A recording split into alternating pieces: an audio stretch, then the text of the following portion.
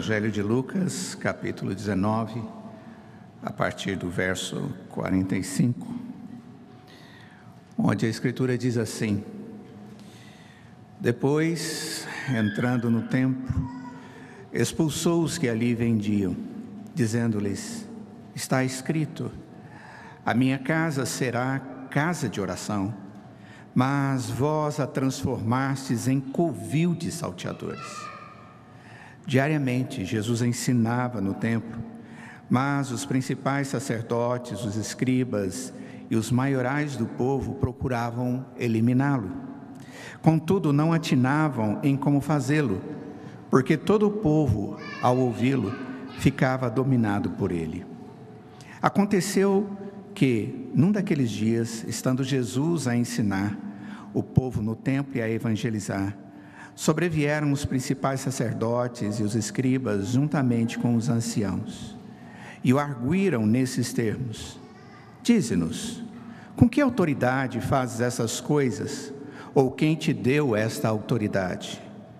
Respondeu-lhes: Também eu vos farei uma pergunta. Dize-me: o batismo de João era dos céus ou dos homens? Então eles arrazoavam entre si. Se dissermos do céu, ele dirá: Por que não, acredit, por que não acreditastes nele? Mas se dissermos dos homens, o povo todo nos apedrejará, porque está convicto de ser João um profeta. Por fim responderam que não sabiam. Então Jesus lhes replicou: Pois nem eu vos digo com que autoridade faço estas coisas. Vamos orar. Senhor, nós estamos diante da Sua palavra, do ministério do Teu Filho Jesus, nosso Salvador, e hoje pedimos que o Senhor nos ensine as estratégias que o Senhor Jesus teve para estar diante das pessoas defendendo aquilo que Ele era, aquilo que Ele cria, aquilo que Ele havia vindo fazer e o seu amor no coração por aquelas pessoas. E que ao aprendermos com Cristo, ó Pai, possamos assim ser preparados para fazer a mesma coisa, proclamando o teu evangelho como servos nas tuas mãos. Em nome de Jesus. Amém. Hoje eu tenho o propósito de olhar para esse texto da Escritura, que na verdade vai do capítulo 19, verso 45, até o capítulo 20, verso 8. Nós vamos dar uma caminhada no texto, lembrando que hoje nós estamos numa aula de escola dominical conjunta, é, então uh, vamos seguir essa ideia. E nessa palestra eu gostaria muito de visualizar com os irmãos como Jesus tratava as pessoas que confrontavam a sua fé. Não é incomum as pessoas terem dificuldade em defender aquilo que Cristo é nas suas vidas e quem eles creem ser Cristo. É aquela ideia de alguém chegar para você e perguntar: quem é Cristo? E você ter que dar uma resposta convincente. Ou, por que, que você crê nele? Qual é a razão da sua esperança nele? E isso nos leva a defender a nossa fé e a defender o Deus da nossa fé usando a ferramenta que nós temos. E a ferramenta que nós temos é a verdade. E a verdade para nós está registrada nas Sagradas Escrituras.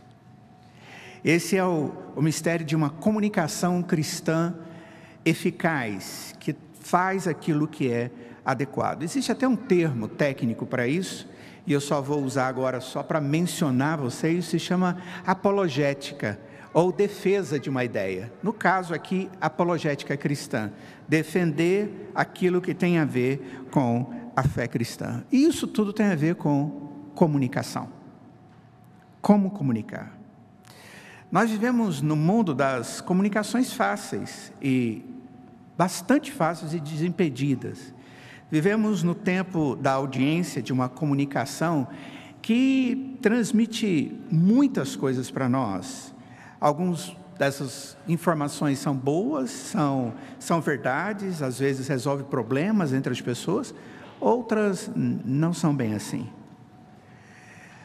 algumas uh, pesquisas a respeito de relacionamento humano e mais especificamente entre casais, diz que o primeiro motivador, o, o primeiro problema em número, em valor de uh, separações conjugais é problema de comunicação, cons, uh, consequente de uma comunicação que não é capaz de resolver problemas entre as pessoas. Não são verdadeiramente os problemas que as separam, mas sim a forma com que as pessoas tratam esses problemas. Nem sempre o que nós falamos, sabemos muito bem, nem sempre o que falamos não é aquilo que os outros entendem ou compreendem. Quantas vezes nós ouvimos falar de amizades profundas, amizades verdadeiras, que acabaram devido ao problema de comunicação? Aqueles que tinham com grandiosa estima passam a ser pessoas estranhas, evitáveis, e às vezes faladas na boca com malícia e de maneira inadequada. Se é tão difícil comunicar adequadamente com pessoas que convivemos tão intimamente, de uma forma tão intensa e longa, quanto mais é difícil travar um diálogo com alguém que pensa de maneira diferente de nós e às vezes tenta nos derrubar nos nossos argumentos. E a defesa da fé sempre vai ter esse tipo de luta, esse tipo de dificuldade. Como ter uma mensagem nos nossos lábios que faça as pessoas se calarem e prestarem atenção à nossa argumentação cristã. Essa é a, nossa grande dificuldade e o nosso grande desafio, e creio eu, Jesus nos dá uma grande aula nesse texto que nós estamos lendo. Qual é o contexto? Nós encontramos Jesus na parte final do seu ministério terreno, pastoral, ele saiu de Jericó e subiu para Jerusalém. Saiu de uma região mais baixa e foi para Jerusalém. E aconteceram algumas coisas, e tudo está aqui registrado em Lucas capítulo 19, a partir do verso 45. Jesus não está sozinho, ele está com seus discípulos que andam com ele. E ele acabara de entrar em Jerusalém.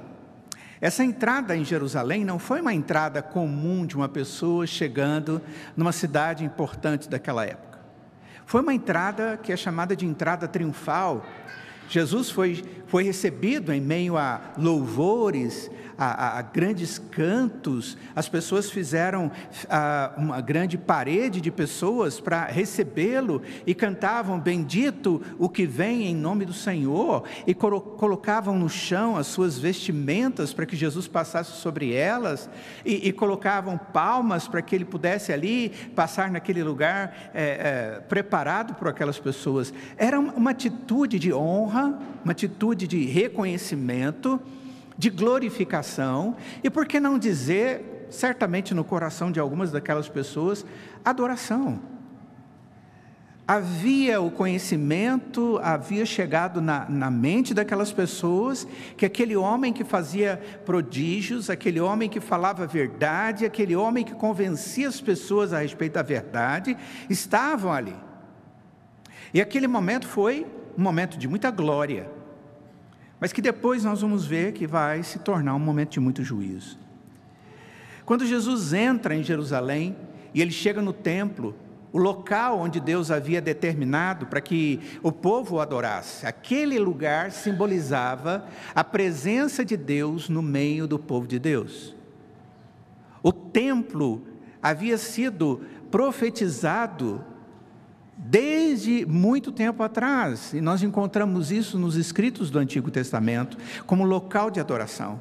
O local onde Deus seria adorado, onde os sacrifícios seriam feitos, onde as pessoas chorariam pelos seus pecados, onde haveria a atitude dos sacerdotes e sumos sacerdotes pelas suas vidas, eles eram reaproximados de Deus, porque o sangue do Cordeiro era demonstrado diante deles como aquele que viria, mas de uma forma simbólica. E quando Jesus entra dentro do templo, ao invés de ver pessoas ajoelhadas, pessoas chorando pelos seus pecados, pessoas contritas na presença de Deus, pessoas querendo fazer uma adoração que tinha a ver com o coração, ele encontra pessoas vendendo e comprando dentro do templo. Aquele pátio que deveria ser local de culto e oração, se tornara num local de venda e compra, local de negócios, local onde as pessoas haviam perdido completamente a, a, a essência, o entendimento da essência da comunhão com Deus. O Senhor Jesus, indignado, porque aquele mesmo povo que o recebera antes com glória, era o povo que fazia uma abominação dentro do templo de Deus. E ele pega alguma coisa esfiapada, cheia de pontas, e sai derrubando aquelas, aquelas bancas onde as pessoas vendiam animais para adoração. Tinham lucros às custas da adoração. Não, não observavam a verdadeira necessidade das pessoas, e ele expulsa aquelas pessoas da casa que ele diz: A minha casa será chamada casa de oração. Capítulo 9, 19, verso 45. E Jesus aponta naquele momento exatamente qual é a sua identidade e o seu ministério. Essa é a minha casa. E esse local é local de oração. E percebendo o poder e a influência de Jesus sobre o povo, e como isso significava ameaça ao domínio religioso judaico daquela época, que tinha poder sobre todas aquelas realidades que ocorriam no centro da adoração, que era Jerusalém, Jesus passa a ser perseguido, Jesus passa a ser questionado, ele passa a ser testado e até mesmo começa a correr risco ou perigo de morte. Capítulo 19, verso 47, parte do texto que nós lembramos, diz o texto que diariamente Jesus ensinava no templo. Mas os principais sacerdotes, os escribas e os maiorais do povo procuravam eliminá-lo. E essa expressão aí é matar mesmo, é acabar com ele, tirar a sua existência de entre eles. É muito interessante o texto registrar que queriam matá-lo, mas no verso 48 diz assim: Mas eles não atinavam como fazê-lo. Eles não sabiam como fazer isso. Eles queriam que Jesus fosse eliminado, eles percebiam que ele estava tirando a autoridade deles como uma verdade maior que vinha da, do seu ensinamento e dos seus atos. Eles queriam destruí-lo, mas o texto diz: não sabiam como fazer isso. E diante desse contexto, eles começam a tentar de diversas maneiras conseguir o seu intento. No capítulo 1, verso 1 diz: Num daqueles dias sobrevieram os principais sacerdotes e escribas com os anciãos. E eles vão começar a conversar e gerar uma situação onde eles tinham uma estratégia para atacarem a Jesus. O texto vai nos mostrar que eles não estavam ali como os demais, a multidão que vinha atrás de Jesus para aprender. Eles estavam ali armados, na linguagem, no pensamento, na sequência de ideias, porque eles queriam de alguma forma, através dessa, dessa estratégia, derrubar a Cristo. Quem eram eles? O texto diz que eram os sacerdotes. Os sacerdotes eram aqueles que tinham a responsabilidade de conduzir a vida litúrgica e espiritual do povo. Era, eram aqueles que ficavam dentro do templo. Eram aqueles que dentro do templo conduzia o povo na liturgia do culto. Eram aqueles que andavam fora trazendo o povo em procissão. Eles andavam vindo de outras cidades e eles vinham cantando salmos cânticos de romagem, de romaria, de ir em direção a o templo de Deus para adorarem. Estes eram os sacerdotes, eles tinham essa, essa responsabilidade litúrgica e espiritual do povo. Mas o texto diz que também que tinha os escribas. E esses também tinham muita autoridade no meio do povo. Os escribas, eles tinham a responsabilidade de copistas e de zelo e de ensino da palavra de Deus. Eles tinham a responsabilidade de defender a fidelidade a Deus. que até então havia sido ah, revelada. Eles eram conhecidos como os defensores da lei, aqueles que defendiam a verdade que estava ali. E eles então, ao fazê-lo, eles eram aqueles que cobravam, eles apontavam o dedo, eles determinavam situações de disciplina e tudo mais. Mas havia entre eles também, diz o texto, os velhos, os anciãos. E isso, dentro da cultura judaica, era muito importante. E quando olhamos a cultura oriental, vamos ver que isso é mais importante do que na cultura ocidental, apesar de que isso está sendo revertido e graças a Deus. Os anciãos eram os homens mais velhos e eles tinham a responsabilidade de julgar e tratar as relações das pessoas, seja essa relação com Deus, seja com outras pessoas, seja com judeus seja com não-judeus. Eram pessoas que, com a experiência da vida, com a experiência das circunstâncias da vida, eles entendiam que Deus havia burilado as suas vidas, preparado, moldado as suas vidas para que eles pudessem fazer isso no meio do povo. Quem eram então que vinham contra Jesus? Eram os sacerdotes, que tinham a responsabilidade espiritual, eram os escribas que tinham a responsabilidade de defender a escritura e eram os anciãos que tinham a responsabilidade prática de pastorear e de orientar as pessoas. E essa situação dá a impressão de ser um inquérito oficial da parte de um grupo chamado Sinédrio. O Sinédrio era formado exatamente por esse grupo, pelos sacerdotes, pelos escribas e pelos anciãos. Havia uma expectativa de condenar a Jesus como blasfemador, e essa era a forma que eles poderiam finalmente levar Jesus à morte. Se eles não conseguissem chamá-lo de blasfemador, ele não poderia ser condenado. Olha, ele adulterou a palavra, então a gente deixa de fora. Ele pegou a palavra e negou a escritura em algum ponto. Esse indivíduo está invertendo as sagradas escrituras. E a gente pode pensar, puxa vida, como eles são duros. É o mesmo contexto que nós usamos hoje na igreja. Se alguém diz que é crente e pega a escritura e começa a adulterar a escritura, começa a falar de maneira inadequada a respeito da salvação que há em Cristo Jesus, nós falamos a semelhança de Paulo aos Gálatas, no capítulo 1, ele diz: aqueles que adulteram a Escritura são amaldiçoados, são anátema, tem que ser deixado de lado. Então, observem bem que o princípio deles não era errado. Eles queriam que convivesse no meio deles alguém que realmente seguia as Sagradas Escrituras. Só que eles não conseguiam entender que Jesus estava seguindo que a religiosidade deles é que estavam ah, que estava fazendo com que eles se afastassem de Cristo Jesus. Eles não conseguiam entender que Jesus era o cumprimento das promessas que haviam sido feitas a respeito dele mesmo, quanto ao Messias que havia sido chamado. Então, diante dessa expectativa de condenar Jesus, nós vamos encontrar essa artimanha toda. Se você abrir comigo, eu queria sugerir que você abra em Mateus capítulo 26.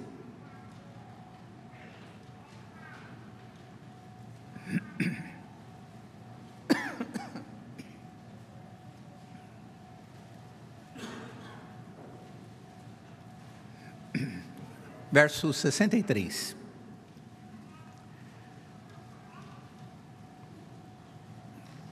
Nós encontramos uma situação bem interessante aqui.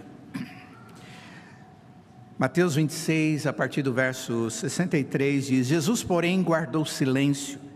E o sumo sacerdote lhe disse: Eu te conjuro pelo Deus vivo que nos digas se tu és o Cristo, filho de Deus. Respondeu-lhe Jesus: Tu disseste. Entretanto, eu vos declaro que desde agora vereis o Filho do Homem assentado à direita do Todo-Poderoso e vindo sobre as nuvens do céu. Então o sumo sacerdote rasgou as suas vestes, dizendo: Blasfemou! Que necessidade mais temos de testemunhas? Eis que ouvistes agora a blasfêmia. Que vos parece? Responderam eles. A resposta foi: é réu de morte. Então a blasfêmia foi a expectativa deles, ou chamar de Jesus de blasfemo, era o propósito dele. Porque é um ato afrontoso mediante a qual a honra de Deus é insultada pelo homem. Era isso que eles queriam encontrar em Cristo Jesus. Como é que eles tentaram fazer isso? Eles fizeram isso, capítulo 20, voltamos a Lucas. Agora, capítulo 20, nosso texto. Eles vão questionar quanto ao batismo de João capítulo 20, verso 1 ao verso 8. Depois eles vão fazer questão quanto aos tributos. Depois eles vão fazer questão ou trazer questão da viúva e seus seis cunhados. Como é que vai ser esse negócio no céu? Tudo pergunta simples, né? Para ver onde Jesus iria terminar. Capítulo 20, verso 1 ao verso 8, eles estão fazendo aí o questionamento do batismo de João. E aí, como é que é esse negócio do batismo de João e o batismo agora? Depois, no capítulo 20, verso 19, diz o texto: Olha, como é que as coisas estão acontecendo? Como é que isso acontece? A quem que nós pagamos o tributo? Tem um negócio interessante no verso 20 do capítulo, uh, capítulo 20, verso de número 20. Diz o texto que eles mandaram emissários que vigiam, que vigiam. Qual o propósito? Para verem se eu apanhava em alguma palavra, a fim de entregá-lo à jurisdição e à autoridade do governador. A ideia aqui é jurisdição, erro que exige julgamento. Essa é a ideia. E a autoridade do governador é porque naquela época o erro eh, que era teológico, ele era julgado pelo governador, porque o governador envolvia o governo romano de Roma, que tinha o poder de dizer: mata. Ou seja, eles podiam ter a vida espiritual, os princípios religiosos, mas eles não podiam penalizar. Então o que eles faziam? Eles montavam um processo eles defendiam a acusação, eles davam um parecer e colocavam esse parecer submisso ao governador. E diziam: olha, para nós ele é culpado, e para nós, segundo a nossa lei, blasfemo é morte. Então eles mandam indivíduos para ficarem andando com Jesus e anotando e percebendo, porque o que eles queriam é pegar Jesus Cristo em alguma palavra, a fim de julgá-lo e entregá-lo para alguém que tem o direito de matá-lo. E eu fico pensando, como é que você defende a si mesmo, e aquilo que você crê, e aquilo que você é diante dessa situação? Porque na verdade você tem que defender algo muito grande e as pessoas querem não simplesmente conversar com você e trocar ideia a respeito da fé, eles querem matar você. Eles querem destruir você. Eles querem derrubar a sua fé. Eles querem derrubar a sua esperança. Eles querem fazer da sua fé objeto de escárnio. Hoje a nossa defesa da fé, ela tem a ver com isso. Hoje as pessoas não querem nos matar. O que elas querem nos derrubar. Essa é a grande diferença. Mas aqui nesse texto, a intenção dessas pessoas não era só derrubar Jesus, mas era matá-lo. E mesmo assim, Jesus os defende, ou se defende e vence. No capítulo 20, a partir do verso 27, diz o texto que alguns saduceus, que não criam, que negavam a ressurreição, tinham dificuldades com a ressurreição, eles começaram a dizer: olha, e se uma mulher ficar viúva, e ela tiver que casar com um irmão, depois ela ficar viúva e ter que casar com outro irmão, depois ficar viúva e tiver que casar com outro irmão, porque na cultura judaica, quando a mulher fica viúva e, ela, e ele tem um irmão e ele é solteiro, adivinha o que ele tem que fazer? Casar com a viúva do irmão. E aí eles perguntam: e aí, se você crê nesse negócio de ressurreição, no céu, com quem ele vai ficar? Qual delas? E Jesus vai tratar exatamente essa situação, e ele vai mostrar que o prazer no céu não tem a ver com intimidade entre homem e mulher, mas intimidade com Deus que bastará ao cristão. E diz o texto que logo depois, verso de número 39 e 40, Mestre, diz o texto, respondeste bem, dali por diante não ousaram mais interrogá-lo. Eles fizeram todos os testes possíveis para derrubarem Jesus. Mas o texto chega no final e diz: depois de tudo que eles tentaram, Observa bem, eles chamam Jesus de mestre. Antes era blasfemador, vamos matá-lo. Um embuste, mentiroso. Nós não queremos no nosso meio. Contra a fé. E agora, depois de todo aquele contexto difícil, Jesus não fugiu de tudo aquilo. Eles terminam chamando Jesus de de mestre. Mestre. E diz o texto: não falaram mais nada. Vamos ver então como Jesus faz esse processo todo. Primeira coisa, as estratégias de Jesus. Primeira delas, Jesus estava no lugar certo e na hora certa. Capítulo 19, verso 45, diz o texto que Jesus entrou no templo. E dentro do templo ele falou: Essa casa é a casa de oração e é minha casa. O que, que Jesus fazia no, no verso 47? Diariamente ensinava no templo. Capítulo 20 diz que Jesus, estando ali a ensinar o povo no templo e a evangelizar, ele estava no lugar onde ele tinha que fazer o que era propósito para a sua vida. Qual era o propósito da vida de Jesus? O propósito do Senhor Jesus era ensinar, mostrar para as pessoas quem Ele era. O texto diz que o propósito dele era apresentar a boa nova, evangelizar, é, evangelion significa boa nova, e ele era a encarnação da boa nova.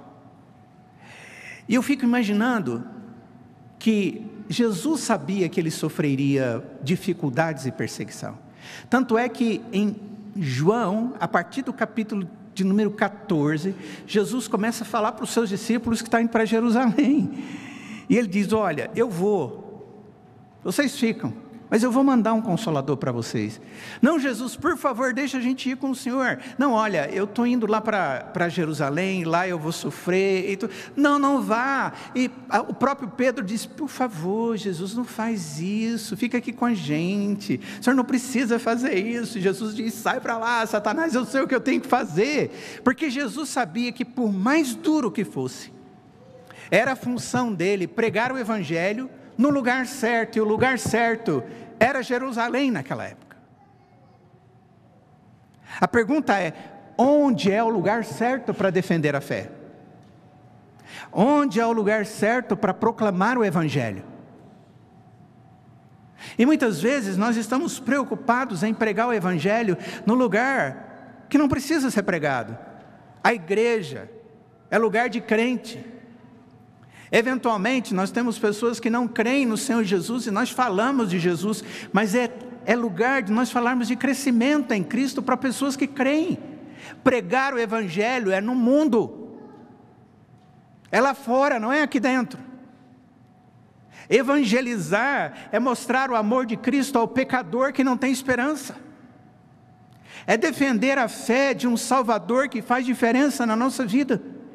É ao fazer isso, correr riscos de sermos taxados, de sermos rotulados, de sermos colocados em situações ruins, que nós não gostamos muitas vezes.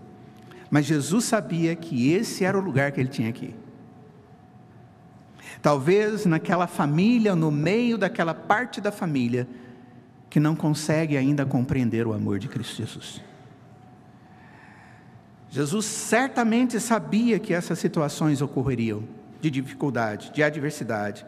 Mais do que isso, Jesus planejara tudo isso com um propósito complexo. E aquelas coisas não estavam acontecendo por um acaso. Nós vemos nos evangelhos Jesus ensinando muitas vezes mas nesta sequência de fatos, ele estava onde poderia ser confrontado e confrontar aqueles que o arguiam. E provavelmente essas lideranças não aventurariam a questionar Jesus num lugar onde poderiam correr algum risco, tanto teológico quanto físico. Dentro de Jerusalém, quem mandava eram as autoridades religiosas. Ali era o campo deles, ali era o lugar deles, ali era a situação deles.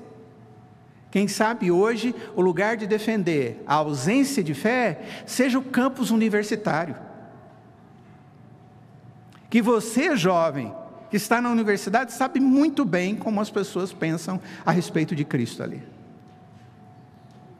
Ou aquele professor de teologia da universidade que nem crê em Deus. E a Escritura é mero ensinamento qualquer. Ou aquele professor de filosofia que consegue falar de verdades, que consegue falar de princípios, que consegue falar da razão e despreza todo o sobrenatural, a graça e o amor de Deus. Assistiram um filme chamado Deus Não Existe? Assistiram? É esse mesmo nome, não é? Hã? Ah, Jesus não, é, Deus não está morto, é isso mesmo. Deus não está morto. E, esquece, Deus não existe. Interessante aquilo lá, não é? Que rapaz corajoso. E no fim de toda aquela história, que eu não sei se é ficção ou se é verdade, mas traz uma proposta de defesa da fé, aquele professor dele, antes de morrer, ele entendeu a sua necessidade de Cristo Jesus. Jesus, com suas argumentações, ele gerava as perguntas posteriores àquelas que já haviam sido feitas a ele. É interessante, não foram os escribas, não foram os saduceus, não foram os sacerdotes ou os anciãos que coordenaram a conversa. Jesus faz o seguinte: ele está conversando com eles, ele traz uma resposta e aí ele traz uma dica e eles, puxa, pega a dica e traz outra para tentar fazer Jesus cair. Jesus diz: Ah, esse é um problema do coração deles, deixa eu explicar. E aí ele termina aquilo, ele percebe que eles têm outra dúvida e ele dá a dica e eles entram na dica e Jesus resolve o problema deles. E chega no final eles dizem: Mestre, não tenha medo de defender a fé cristã se você verdadeiramente crê no Senhor Jesus mas faça isso no lugar certo. O local era importante tanto para aquelas lideranças, como também para Jesus. A questão é: temos procurado, temos procurado o lugar certo e a hora certa, correta, para confrontarmos as pessoas a respeito da nossa fé e o Evangelho. Eu me lembro da minha conversão na mocidade vivi, cresci dentro da igreja, via acampamentos e conhecia muitos dos jovens daquela época que eram dessa igreja, no ABR. A gente carregando as malas daquela ponte, indo na poeira até lá e achando a coisa mais gostosa do mundo e que hoje a gente tem boas lembranças. Nem vou falar quantos anos atrás. Meus companheirinhos que aí estão aqui. Mas eu não era crente. Mas eu vivia na igreja. Eu vinha para os acampamentos. Eu vinha para aprontar. Adolescente, não aprenda comigo. Deus aprontou comigo. Ele entrou no meu coração. Ele fez a obra dele, mas logo depois que Jesus entrou no meu coração, eu falei: agora eu tenho que falar de Jesus para meus colegas de Araguari, da gloriosa, maravilhosa, tão fantástica cidade, né, seu Hernan? Só que os meus colegas eram os colegas da balada, da bagunça, da bebida, da droga. Havia no meio deles homossexuais. E eu pensei no meu coração, agora eu vou com tudo para cima deles. Sabe onde eu fui? Para as baladas, para os barzinhos para a porta dos barzinhos, que ficava todo mundo ali. Hoje eu acho que ainda tem essas coisas. E achava que aquele era o lugar de pregar o Evangelho para eles. Sabe quantos deles me, deu, me deu atenção? Nenhum. Nenhum. Sabe por quê? Lugar errado, hora errada. Eles não estavam ali para ouvir o Evangelho. Eles não queriam ouvir o Evangelho. Nós precisamos pedir a Deus, Senhor, me dê sabedoria para onde ir. O apóstolo Paulo diz para Timóteo que nós temos que pregar o Evangelho, seja oportuno ou não. Não havia em Paulo o desejo de conduzir a uma atitude de desespero, mas sim de levar as pessoas diante da oportunidade clara que Deus dá, que Deus mostra e que não somos nós que geramos. Senhor, abre os meus olhos para ver se esse é o momento, se essa é a hora. Jamais o Senhor Jesus seria convidado a evangelizar e ensinar no tempo, se isso não tivesse sido preparado, planejado por Deus. Os judeus não permitiriam que isso ocorresse. Mas Jesus planejou e o Pai fez. Segunda estratégia de Jesus. Ele usou os argumentos de maneira adequada. Verso 3 e 4 do capítulo 20, diz o texto: Respondeu-lhes: Também eu vos farei uma pergunta, dizei-me: O batismo de João era dos céus ou era dos homens? e aí Jesus deu uma resposta para eles diante de uma pergunta. Qual era a pergunta? Olha aí o texto. Verso de número 2: Com que autoridade fazes essas coisas? Quem te deu essa autoridade? Aí Jesus diz: Olha, batismo de João, que autoridade que ele tem? Dos céus ou dos homens? O que, que vocês falam de João Batista? Todo mundo sabia que João Batista era profeta. Aí eles disseram: se a gente disser uma coisa que é dos homens, eles vão apedrejar a gente. Se é de Deus, vão falar, Jesus também é de Deus, porque ele falou de Jesus, eis o Cordeiro de Deus que tira o pecado do mundo. Então não tem jeito. Jesus fez a resposta exata. A resposta dele foi uma pergunta retórica, que não tem jeito de errar. Ele usa um argumento lícito e contextual, apesar de ser muito difícil para aqueles líderes religiosos tratarem de algo em momento algum, eles tiveram iniciativa para resolvê-lo ou tratá-lo, mas ah, Jesus sabia o que fazer. Ele pegou algo que estava acontecendo ali e aplicou. Vocês conhecem João Batista? Conhece? Todo mundo conhece. Ele é profeta ou não é? É de Deus ou não é? O contexto me leva a agir de maneira adequada quando eu uso adequadamente a palavra de Deus. O uso adequado dos argumentos autorizados. Se você quiser vencer um debate a respeito de Cristo e a sua fé, o seu argumento tem que ser bíblico. Fundamentalmente bíblico. Tem que ser a verdade de Deus. E não os seus argumentos filosóficos. Tem que ser a verdade de Deus, porque a verdade de Deus, diz a Escritura, que é ela que liberta, é ela que santifica, é ela, o Evangelho de Deus, que torna o homem capaz para a salvação. É a verdade de Deus, o Evangelho de Deus que molda o homem, porque ela tem utilidade para corrigir e para fazer tantas outras coisas que Paulo fala em 1 Timóteo, ou 2 Timóteo capítulo 3.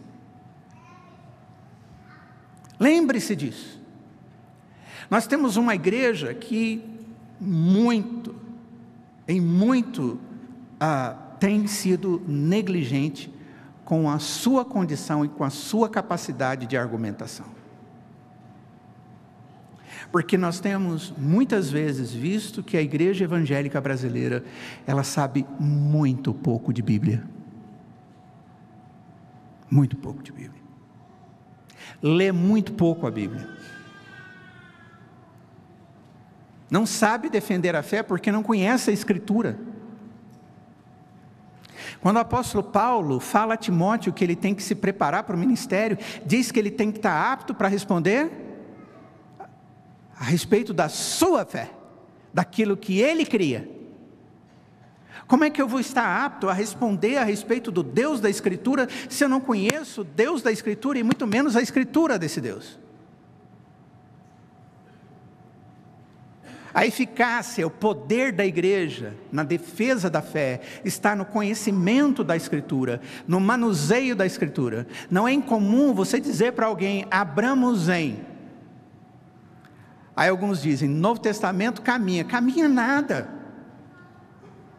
As pessoas não dão conta nem de abrir os, os livros do Novo Testamento, que é o mais usado.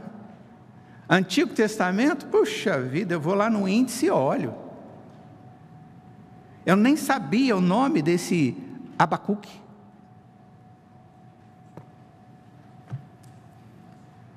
Essa é uma grande verdade. Essa é a verdade da igreja evangélica brasileira. E nós fazemos parte disso. O interessante é que nós precisamos disso. Porque nós somos tanto proclamadores do Evangelho, como defensores do Evangelho que é a verdade. Quando o Senhor Jesus argumentou com aquelas pessoas, Jesus argumentou com aquelas palavras e aqueles argumentos consistentes. Mas a pergunta daqueles homens foi, foram inconsistentes. Porque eles queriam questionar uma autoridade que Jesus tinha. Eles começaram tudo errado. Jesus usou um argumento lícito e autorizado por Deus. Lúcifer fez uma apologia falsa, o diabo diante da mulher. Eva, lembra? Pegou as sagradas escrituras e fez o que com ela? Torceu. Inseriu certos detalhes, quando a mulher viu, já estava ela dizendo algo a mais da escritura que não devia dizer. E ele foi cativando o coração dela, a hora que viu, ela pegou, comeu, deu para o homem, ele também ludibriado comeu, e aí começou toda a situação. Ele fez uma apologia para a destruição. Ele pegou a verdade e torceu. Quem distorce a escritura Paulo diz que é anátema, e eu já disse hoje. Em Apocalipse diz que se alguém acrescentar qualquer coisa, até mesmo um pontinho, é anátema na palavra de Deus. Terceira coisa. Mantenha o diálogo até alcançar o objetivo. Jesus, ele, apesar das lideranças eclesiásticas tratarem Jesus como um inimigo, Jesus os tratava como pessoas a serem convencidas pela verdade. E Jesus fazia isso pelo amor, ele não estava ali para destruir aquelas pessoas. A Bíblia diz que Deus ama as pessoas. Nós não vemos Jesus em momento algum deixando de falar a verdade. Contudo, não era simplesmente para acabar com o relacionamento e a conversa com aquelas pessoas, mas para gerar um entendimento que os levaria ao arrependimento e à fé. Era isso que Jesus queria. Na apologética, ou na defesa cristã, nós devemos aprender a viver com ideias diferentes. E isso é muito difícil para nós. Você pensa diferente de mim, na cultura brasileira, alguém que pensa diferente é inimigo. Não é? Eu torço para o melhor time do Brasil, o Timão. Todo mundo sabe qual é. Quem não torce o Timão no Brasil, torce contra. Não tem time mais odiado no Brasil do que o Timão, o melhor time do país. Tá vendo? Já está todo mundo fazendo assim, e sim, né? Só os corintianos que estão. Yes, yes, ali a irmãzinha já fez assim, né? Mas o resto franziu a testa. É a mesma coisa de política. Se tiver no nosso meio alguém que está defendendo Lula, coitado dele. É como se fosse coisa do diabo. Ah, estou falando alguma mentira? Não, e vocês sabem disso. Sobre fé é a mesma coisa. E às vezes até mesmo dentro da igreja evangélica. Ixi, se não é reformado, não é crente. Será? É isso mesmo? O que, que realmente salva alguém? É crer em Jesus como Salvador? Ou modelo de teologia?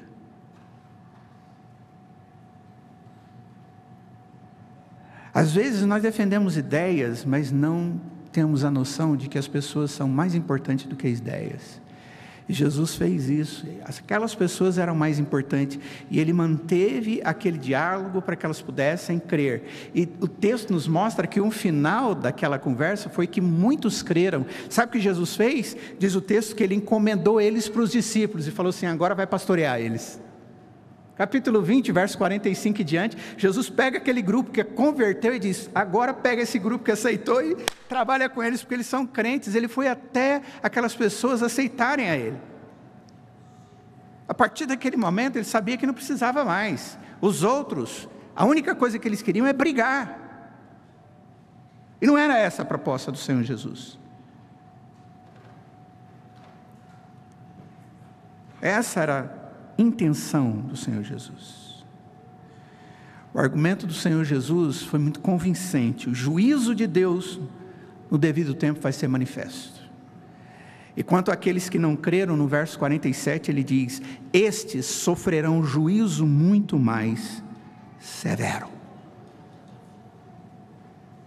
Esses aqui, discípulos meus, apóstolos, pastoreiem. Os outros, o Senhor cuida deles.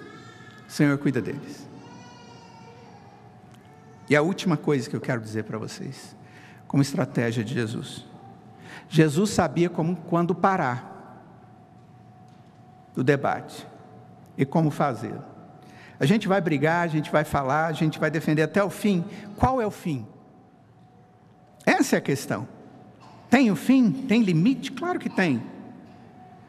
No verso 41 ao 44 do capítulo 20 diz: Mas Jesus lhes perguntou: Como podem dizer que o Cristo é filho de Davi? Visto como o próprio Davi afirma no livro dos Salmos, disse o Senhor ao meu Senhor: Assenta-te à minha direita, até que eu ponha os teus inimigos por extrato dos teus pés. Assim, pois, Davi lhe chama Senhor, e como pode ser ele seu filho? Jesus está arrematando a sessão de perguntas ao postular uma a ele mesmo, usando a Escritura. O problema que levantou surge do hábito na antiguidade de considerar gerações anteriores como maiores e mais sábias do que a geração presente. Mas o que Jesus estava dizendo, ó, ser filho de Davi não faz a mim menor do que ele, porque eu sou Deus e ele é filho de Deus. Eu sou quem ele disse que eu seria, porque Davi falou a respeito dele. À luz disso, irmãos, como aplicar na nossa vida? O que eu quero que os irmãos entendam é que essa tarefa bíblica cristã de pregarmos o Evangelho e defendermos a fé foi dada por Cristo. E Cristo não só deu essa tarefa a nós, mas também mostrou como isso acontece. Ele mostrou que nós precisamos aprender com Ele. E para aprendermos com Ele, primeira coisa, eu preciso conhecê-lo e conhecer o ministério de Cristo. Eu preciso ver os detalhes do amor de Cristo por mim e pelas pessoas e como Ele tratou tudo isso. Nos mínimos detalhes. Se eu pego partes pequenas, como o Sermão do Monte, eu vejo tantos detalhes. Outros momentos, como Mateus capítulo 23, 24 e 25, que fala de escatologia e eu vejo tantos detalhes. Eu preciso aprender com o Senhor Jesus como enfrentar cada uma dessas situações. Para isso eu preciso ler a revelação a respeito de Cristo, que é a Escritura. Segunda coisa, lembrem-se bem que diante da, do desafio eu tenho que ter a intenção de ouvir e ver as oportunidades que Deus me dá. Você não sabe como fazer isso, não sabe o momento certo. Peça para Deus. Me dá discernimento. Que hora que eu falo? Não é qualquer hora. Tem muito crente que é meio. Eu vou usar uma expressão, não sei se é essa a expressão correta, é chato. Ele só fala aquilo. Aquilo é muito importante, mas a vida tem a ver com o que eu vivo no dia a dia a partir daquilo. Então, observem bem que eu preciso estar no lugar certo, na hora certa. Mas quem vai me dar essa sabedoria é Deus. Peça orientação. Jesus sabia e ele planejou. Eu não sei, mas Deus planeja. E você pode esperar esse planejamento dele, essa oportunidade, e peça a oportunidade. Segundo, quando você tiver que terceiro, quando você tiver que responder a alguém, pense bastante, porque o seu argumento vai ter que ser melhor do que o argumento do outro. E para o seu argumento ser melhor do que o outro, você tem que ter o argumento certo. E mais uma vez, o argumento certo é a verdade. E a verdade está na Escritura.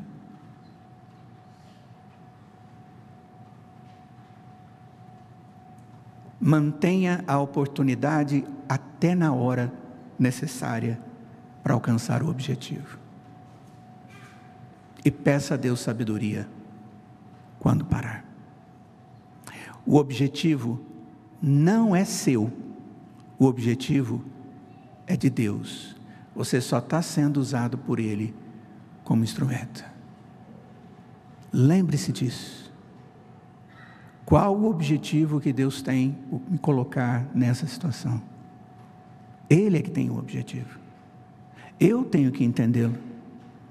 E eu tenho que alcançar o objetivo de Deus na vida daquela pessoa. Às vezes o objetivo de Deus é salvar. Mas às vezes, como diz o verso 47, é só colocar mais brasa quente sobre a cabeça daquela pessoa. Que Deus, na sua bondade, mantenha em nós essa disposição. Falar sobre esse assunto não é fácil. Não é fácil. Quando eu ensino essa matéria no seminário, é o último semestre do último ano. O aluno tem que ter estudado todas as teologias, todas ter feito todas as partes bíblicas de estudo bíblico. Ele tinha que ter, ter feito todas as exegeses e análises textuais no original e todos os trabalhos. E aí eu dou a matéria chamada Defesa da Fé. Sabe por quê? Porque eu tenho que cobrar daquele irmão o uso daquilo que Deus tem lhe dado. Você tem participado de um seminário há quantos anos? Quantos anos você faz parte da igreja? Há quanto tempo Deus tem ensinado a Escritura? Eu creio que agora é hora de você ouvir que tudo que Deus lhe deu até agora é para que você defenda a fé e proclame o Evangelho com fidelidade. Que Deus, na sua misericórdia, nos capacite para isso.